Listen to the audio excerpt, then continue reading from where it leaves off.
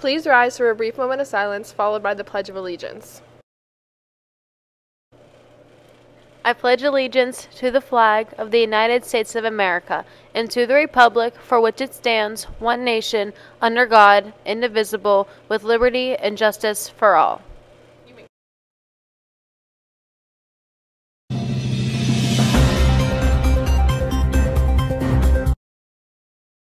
Good morning, New Brighton. Today is Wednesday, February 2nd, 2022.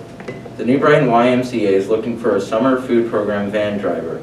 Responsibilities for this job include delivering and picking up food coolers and completing necessary paperwork, among others. Salary is $9 per hour. For more specific information, apply in person. Dress for Less in Monaca is still looking for individuals 16 and over that can work nights and weekends. Starting salary is $11. Apply at rossstores.com slash jobs for an application.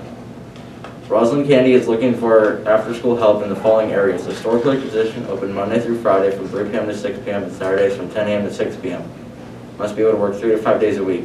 The stock position, uh, rotating stock and bring up stock from the lower level Monday through Friday from 3 p.m. to 6 p.m. Must be able to work four to five days a week. Contact store if interested. Now to sports. Good luck to the New Brighton Lions taking on the Southside Rams for our last home bocce match for the season.